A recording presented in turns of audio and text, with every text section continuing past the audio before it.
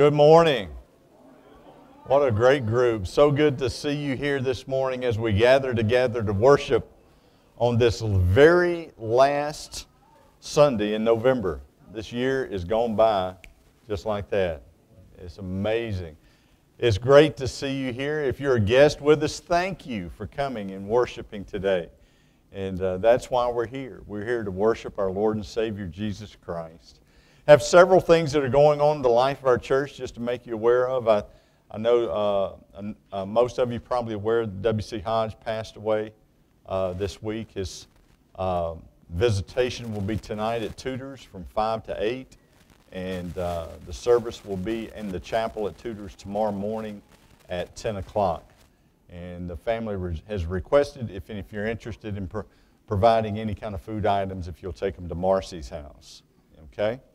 Uh, also, I know that uh, uh, Linda and Jerry, you don't, you don't see them here this morning. They, Parker, their grandson, was involved in a, a little mishap last night where a tree jumped in front of his four wheeler. And he was uh, injured. It appeared to be a little bit worse than it was, turned out to be. God has been very good, and uh, what they thought was a broken pelvis has turned out not to be. And uh, he spent the night at Blair Batson and hopefully get to go home today. But keep them in your prayers. Keep all of those families in your prayers. And I also know that there are other needs, and we'll address those as we have our altar prayer ministry in just a little bit. But uh, it's a great day to be in God's house, and I'm glad you're here. Let's go together to the Lord in prayer. Father, we thank you for the privilege that we have in worshiping you.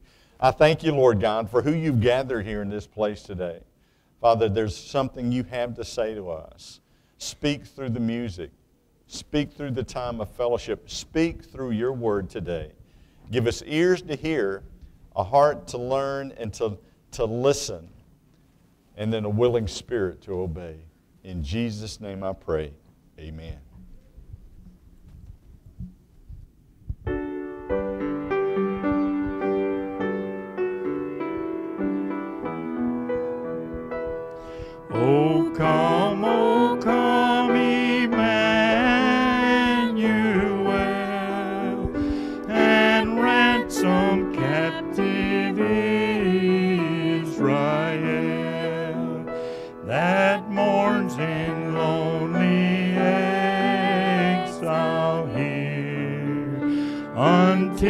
The Son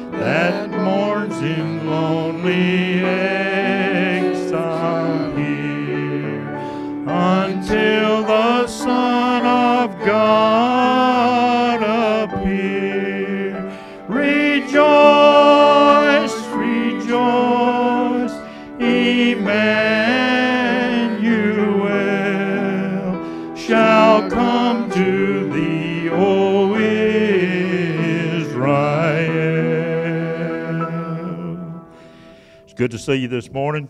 Welcome to Dry Creek Baptist Church. Take your hymnal, if you will, and turn to hymn 343. 343. Let's sing. Let's sing all five of the stanzas, if you will.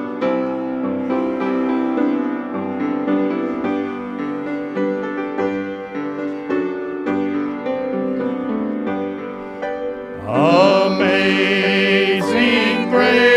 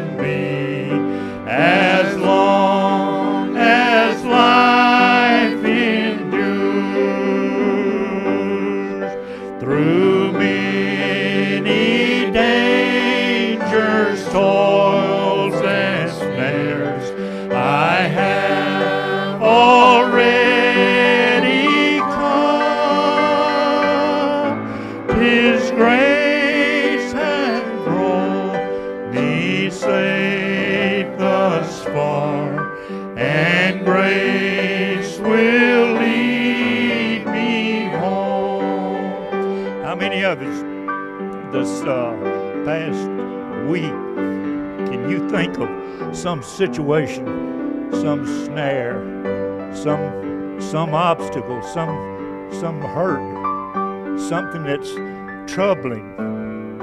Every one of us can can realize that. We've been in that. that Even this past week, seen things happen where God intervened. God brought us through these things. That's that amazing grace that He's talking about.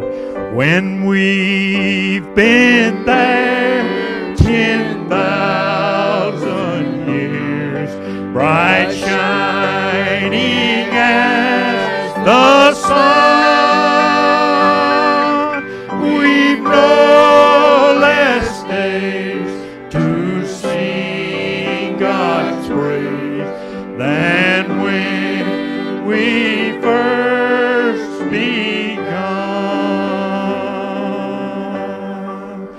Let's remain standing, turn to hymn 250, and we'll sing O Little Town of Bethlehem, and we'll worship with our tithes and offerings for today.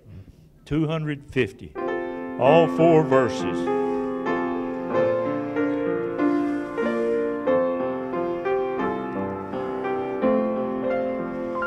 O little town of Bethlehem, how still we see thee lie above thy deep and dreamless sleep. The silent stars go by, yet in thy dark street shineth the everlasting light.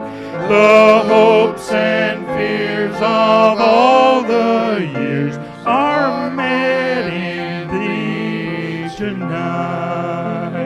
For Christ is born of Mary and gathered all above. While mortals sleep, the angels keep their watch of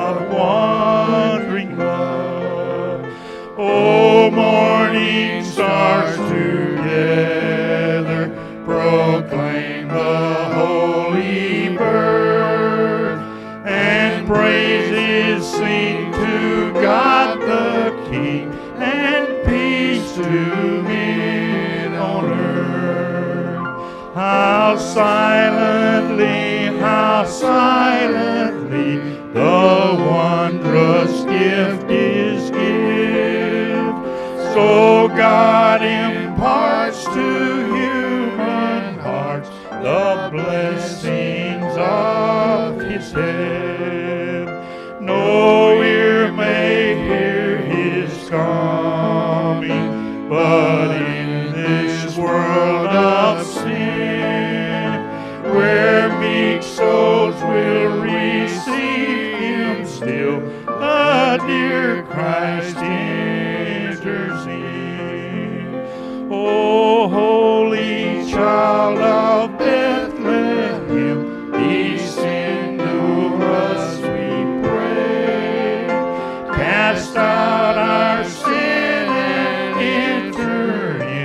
in.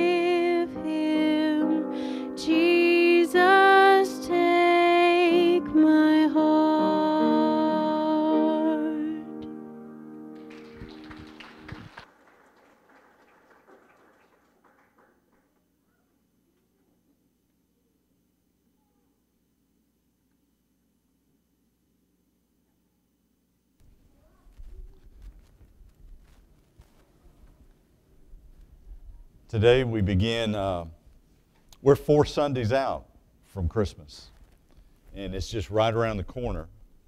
And uh, today's, each Sunday from now till then, we're going to do something very special. And I've asked Daniel and Summer and Rose and Eli and Orrin and Chastity to come this morning, and you listen.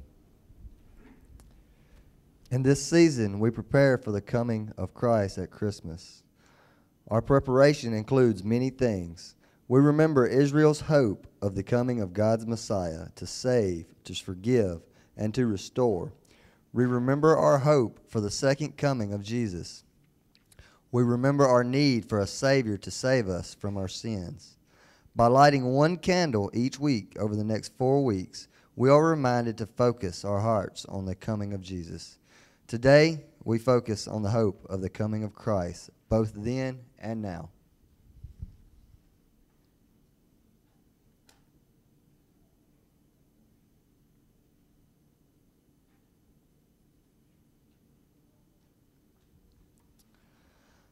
About 700 years before the first coming of Christ, the prophet Isaiah spoke of the hope of his coming. In Isaiah 7:14 it says, "The Lord himself will give you the sign. Look, the virgin will conceive a child. She will give birth to a son and call him Emmanuel, which means God is with us." Isaiah 9 verses 6 and 7 says, "For a child is born to us, a son is given to us." The government will rest on his shoulders, and he will be called Wonderful Counselor, Mighty God, Everlasting Father, and Prince of Peace. His government and its peace will never end. He will rule with fairness and justice from the throne of his ancestor David for all eternity. The passionate, the passionate commitment of the Lord of heaven's armies will make this happen. Dear Heavenly Father, thank you for this day. Thank you for everything you've given us, dear Lord. Dear Lord, just thank you for being our counselor and our God and our mighty God, dear Lord, and our Father. Dear Lord, thank you for that peace that you give us. Thank you for being the Prince of Peace, dear Lord. Dear Lord, just uh, and most of all, thank you for the hope of of uh, of a life after after we, uh, we leave this earth, dear Lord. Thank you for that hope of coming back to receive us as your kingdom, dear Lord. Dear Lord, as we go through this service, dear Lord, I pr- uh, pray that Brother Joe will, um, that you'll use his words and, and put them in our hearts and apply them to our lives, dear Lord. I ask these things in your name I pray. Amen. Amen. Thank you.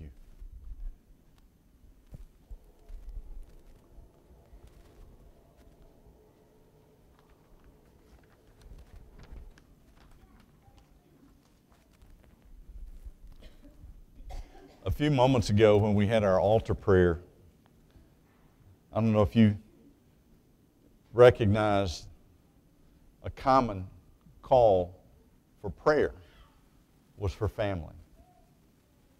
All down this side, this side, and in the middle, it was several people asking prayer for their family. And the, if the truth be known, many of us who raised our hand with unspoken prayer requests centered most likely around our family. Here's my prayer for you and your family for this season that we're entering into. I'm asking the Lord for this. I'm asking that this season of Christmas be the most meaningful season that you have ever experienced in your life. And it has absolutely nothing to do with what we do here but it has everything to do with what Christ does in your heart and in your life and what you allow Him to do. As we celebrate, we celebrate the coming of Christ.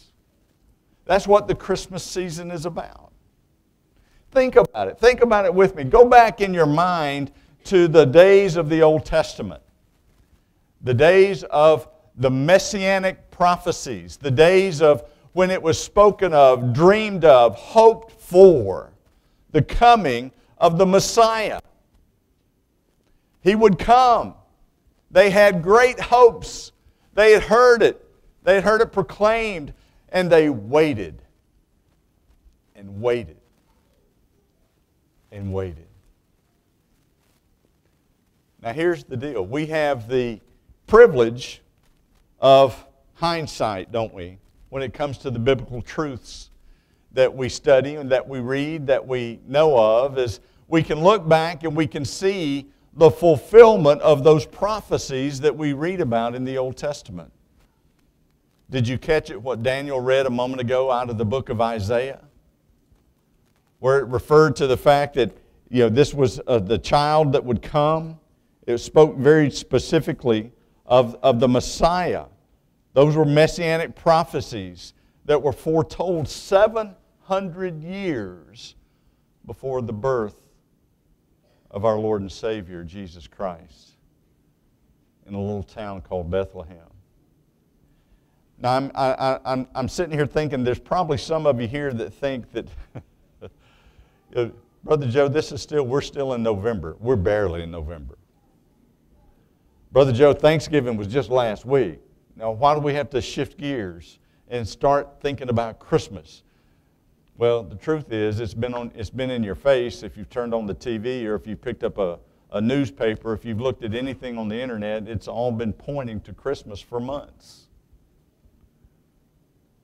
And we can get lost very easily if we're not careful that we can get lost in the commercial, commercialization of Christmas and we can miss the whole aspect of the coming of Christ.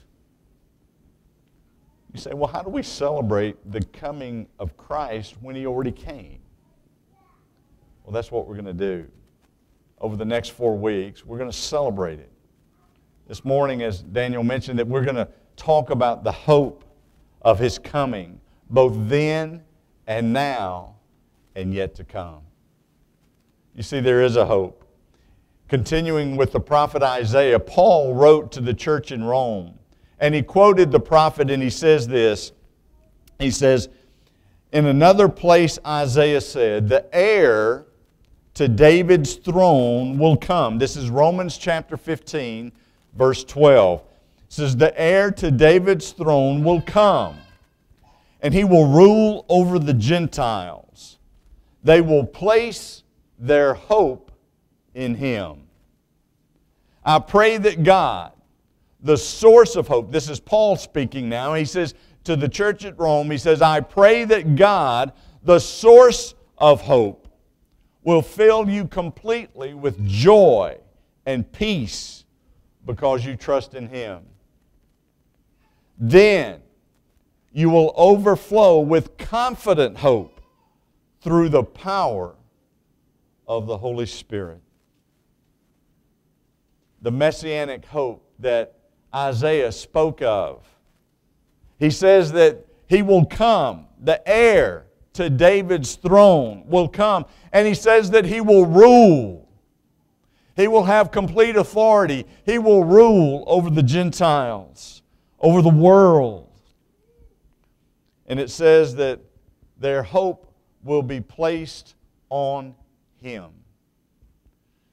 And so, even in that day where the prophecies were foretold, there was the speaking of the hope of the coming of the Messiah. We look back and we see it, we know it. Paul speaks of it here. He says, he says first, he says, first this, the source, the source of hope. He says, I pray to God. I pray that God, the source of hope, will fill you with joy and peace. Remember that. God is the source of all hope. And it goes on and he says that once we've experienced that joy and peace, we've experienced that hope by trusting him. It's more than a Yeah, you've heard it. You've heard it. People respond this way before when asked a question about I, I've asked this throughout my ministry a number of times. I asked this question to many, many people do you know that when you die, will you go to heaven? You know, you tell you what the common answer is? I hope so. I hope so. What we're talking about here in the hope of the coming of Christ then and now and in the future is more than wishful thinking. You see, we have the evidence of the truth that He came. He came. I think about it being more than wishful thinking, and I think about those throughout biblical history as well as in our midst today, people who hold on to that hope of experiencing the coming of Christ. And I'm overwhelmed by the fact that it's a, it's a hope that is with great expectation. It's a hope that is a confident hope. And the people that come to my mind, you know, in Luke's gospel, if you've got your Bible, turn to Luke chapter 2. Luke chapter 2. There are two people that Luke chapter 2 speaks of that were waiting Verse 25, it speaks of the prophecy of Simeon and speaks of the prophecy of Anna as well. In verse 25, it says, And at that time this was after the birth of Jesus, is at that time there was a man in Jerusalem named Simeon. He was righteous and devout and was eagerly awaiting for the Messiah to come and rescue Israel. The Holy Spirit was upon him and had revealed to him that he would not die until he had seen the Lord's Messiah. The day of the, the, that day, the Spirit led him to the temple. So when Mary and Joseph came to present the baby Jesus to the Lord as the law required, Simeon was there. He took the child in his arms and praised God, saying, Sovereign Lord, now let your servant die in peace. As you have promised, I have seen your salvation, which you have prepared for all people. He is a light to reveal God to the nations. He is the glory of your people, Israel. Jesus' parents were amazed at what was being said about him. Then Simeon blessed them, and he said to Mary, the baby's mother, This child is destined to cause many in Israel to fall, but he will be a joy to many others. He has been sent as a sign from God, but many will oppose him. As a result, the deepest thoughts of many hearts will be revealed, and a sword will pierce your very soul. Can you hear it? Can you see the great expectation of Simeon waiting on the consolation of the Lord, waiting on the Messiah? It had been promised that he would see the Messiah before he died. So there was that confidence. It wasn't a, well, I hope so. It was more than wishful thinking. And then we read in, in verse 36 about Anna, the prophet. Anna, a prophet, was also there in the temple. She was the daughter of Phanuel from the tribe of Asher, and she was very old. Her husband died when they had been married only seven years. Then she lived as a widow to the age of 84. She never left the temple but stayed there day and night, worshiping God with fasting and prayer. She came along just as Simeon was talking with Mary and Joseph and began praising God. She talked about the child to everyone who had been waiting expectantly to, for God to rescue Israel. Can you see it? There was a confident hope in her that overflowed, that abounded in who she well, what she had experienced and what she's seen, it overflowed in her to the point that she shared with others what she had experienced. So we see that here in this passage back in Romans, God being the source of hope, hope being experienced through Him by trusting in Him with more than just wishful thinking, but a a hope of great expectation, a hope of confidence in who God is, and God fulfills His promises. But we also see that there's a hope that overflows. It doesn't just fill, it doesn't just go to the brim, it goes over. It overflows. When you're filled with the hope of God within you, it, it, it, it, you can't help but talk about what He's doing in your life, what He's done for you. The hope that overflows. And it's through the power of the Holy Spirit that the source of God is within you. He is the source of that hope. And it's left up to us to simply trust that hope. So I ask you today is that where you're at? Are you trusting in the hope of the coming of Christ? You say, well, Brother Joe, you, you, the way you're talking, it's confusing. I, I, I'm not sure. You're talking about the coming of Christ, but Christ came.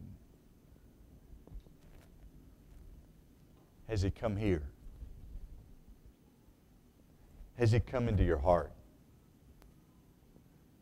You see, the Messiah did come over 2,000 years ago, and He still comes today. So that's the then. What about the now? How does the hope of the coming of Christ impact my life now? How can it make a difference? Let me ask you have you ever been to a point of hopelessness in your life? Been there? You ever wonder how you got there? You say, Well, you just don't know what I've been through. You don't know the circumstances of what's going on in my life. You don't know the experience of, of this season that I walked through where I was hopeless. I want to remind you what Paul says to the church at Rome. He says, God is what? He is the source of our hope. He's the source of our hope. Scott, do me a favor. Turn all the lights out.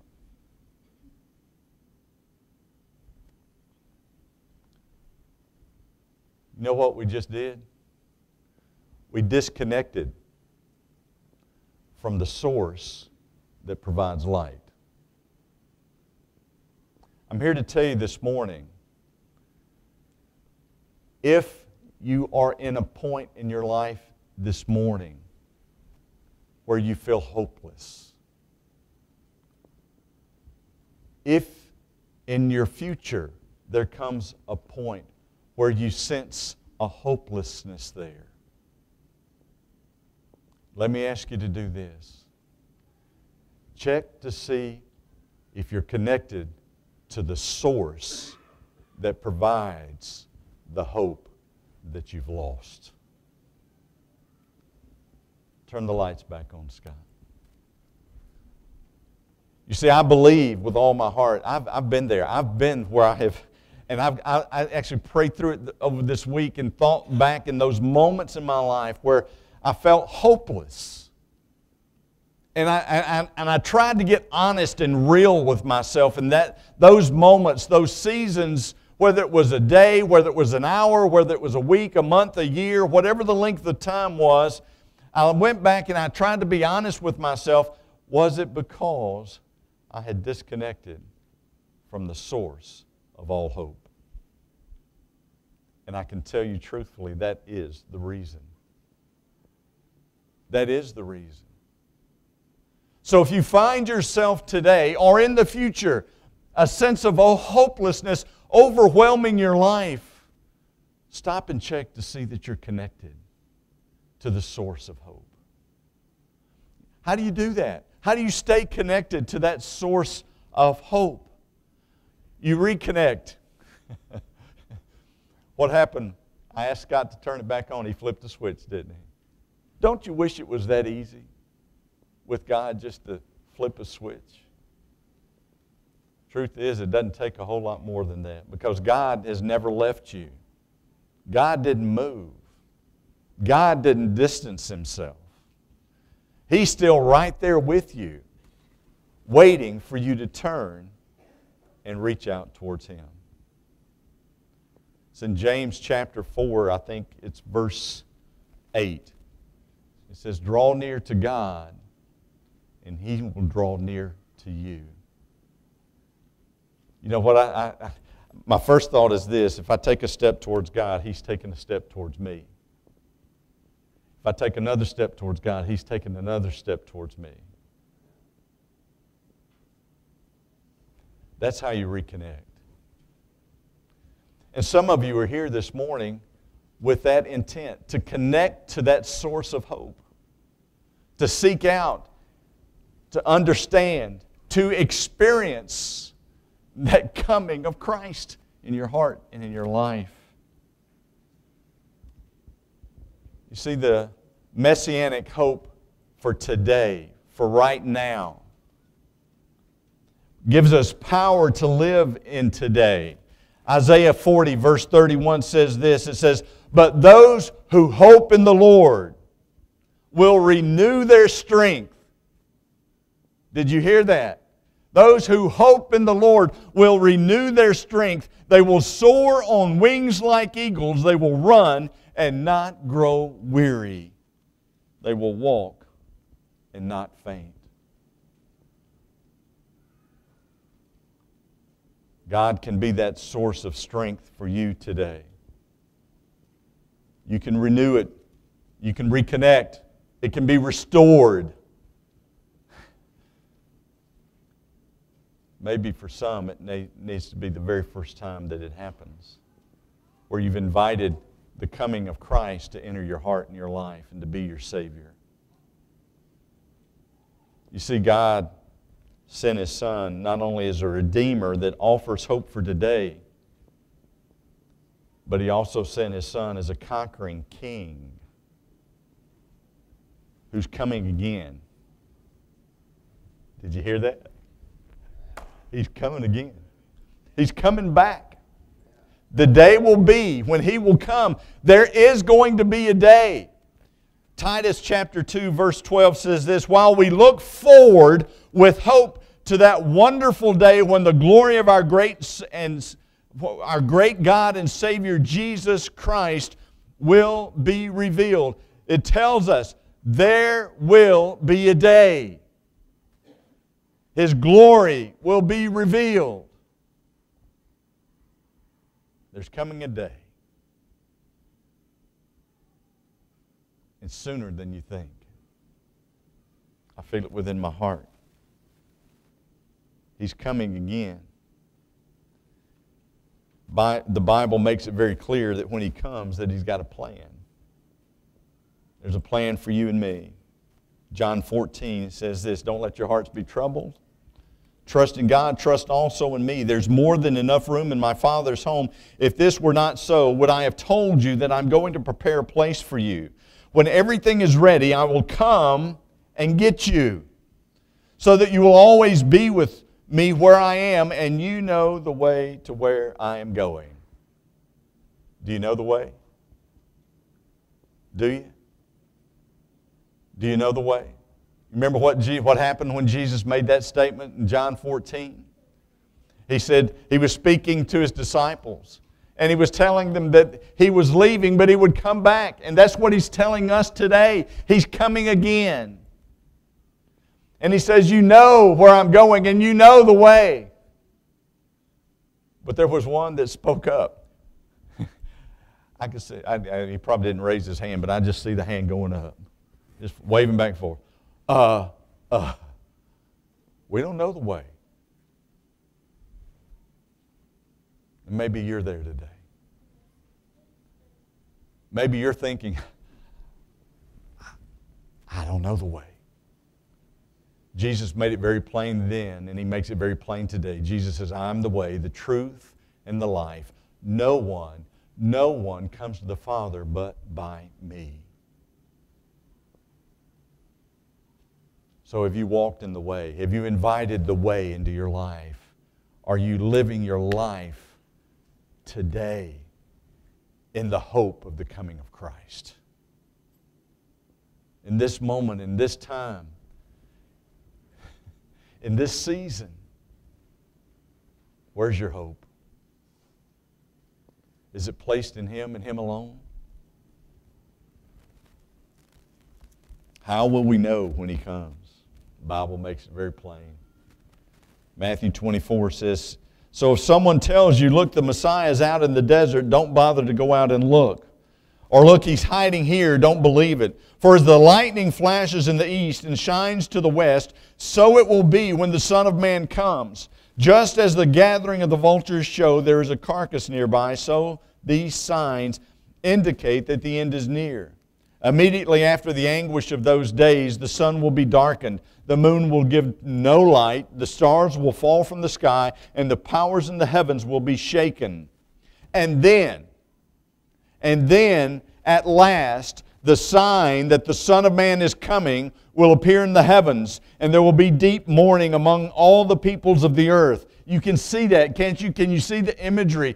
The lostness that is prevailing today in our world they will recognize, they will see this. And then the last sign, the Son of Man is coming and appear in the heavens. There will be deep mourning among all the peoples of the earth, and they will see the Son of Man coming on the clouds of heaven with power and great glory. And he will send out his angels with the mighty blast of a trumpet, and they will gather his chosen ones from all over the world, from the farthest ends of the earth and the heaven. I'm asking you today do you know for certain that you're part of the group? Do you know that you know that you know that you've been chosen by God? That you've experienced the hope of His coming in your heart and in your life, and you're living it out today.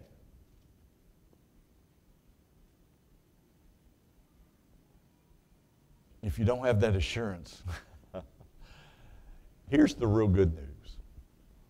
You can have it before you leave this place today. Because he's waiting. Remember, I said in James chapter 4, it says that if you draw near to me, he'll draw near to you.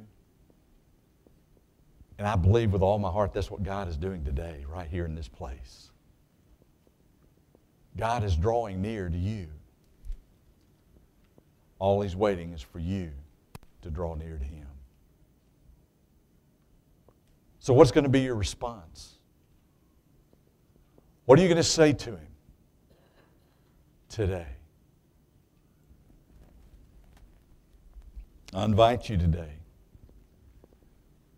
as we enter into this season of a celebration of the coming of Christ.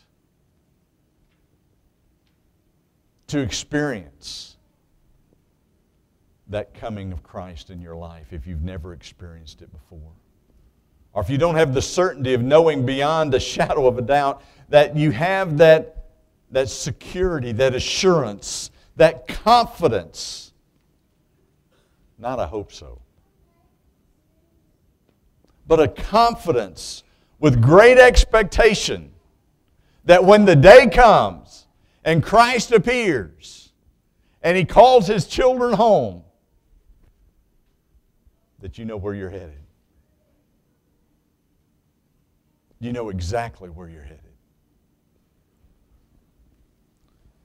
Do you have that great expectation? Do you have that confident hope? Is it abounding in you to the point that it not only fills you with joy and peace as it's spoken of in Scripture, but it overflows to the fact that that joy and peace in you is experienced and seen by those that all around you. In other words, they know the reason of the season in your life. They see the Christ in you, the hope of glory. Father God, I pray in this moment, Lord, that you would draw near and call your children to you. Father, may we be mindful as we walk through this season of Christmas of the coming of Christ. And as we celebrating, as we, as we have celebrated today and celebrated in weeks to come, his coming, Lord God. I pray that first and foremost, if there's anyone here who has not nailed down in their heart, their mind, and their spirit the assurance of having received Christ as their Lord and Savior, Lord, they would come today. Lord, if there's anyone here today that, Lord, has sensed a a hopelessness in their life and in their spirit. And Lord, they've recognized that they have disconnected from the source of all hope. Father, I pray that you would help to restore that connection right now in this place. So, Lord God, would you speak to each person here today? Bless us, Father with a confidence and expectation of your coming in this moment, in this invitation. In Jesus' name I pray. Amen. Ask you to stand together, please. Turn to hymn 762. 762.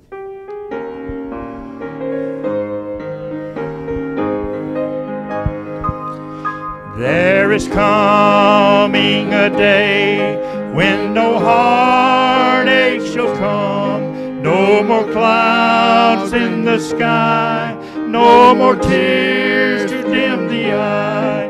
All is peace forevermore on that happy golden shore. What a day, glorious day that will be. What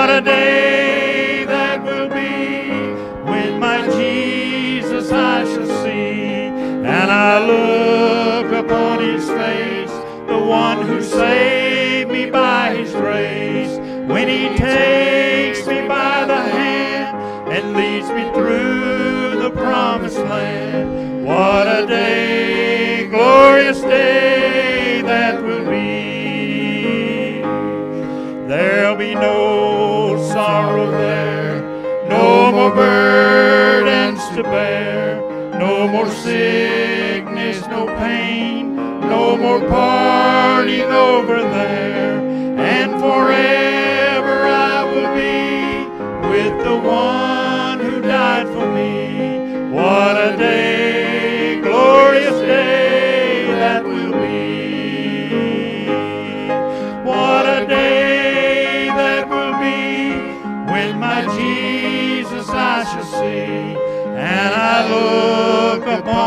face, the one who saved me by his grace.